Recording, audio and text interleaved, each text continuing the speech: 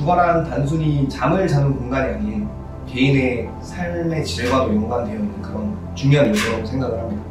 제가 생각하는 주거란 어, 밖에서 받는 모든 스트레스와 고민을 내려놓을 수 있는 저만의 보금자리라고 생각합니다.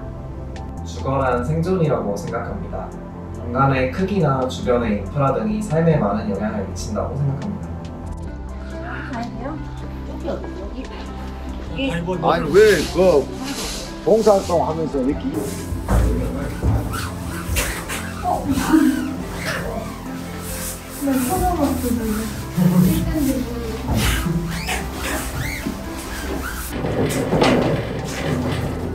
어, 맞아요. 밖에 문제. 오, 밖에 문제다.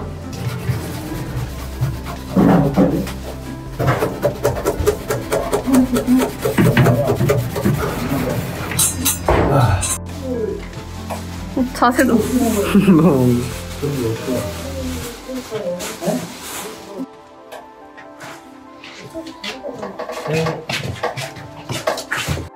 저희 한 명 한 명의 노력이 모여서 이렇게 새로운 공간을 선물해 드릴 수 있어서 정말 뿌듯했고 어, 앞으로도 이런 주거환경 봉사에 참여하고 싶습니다.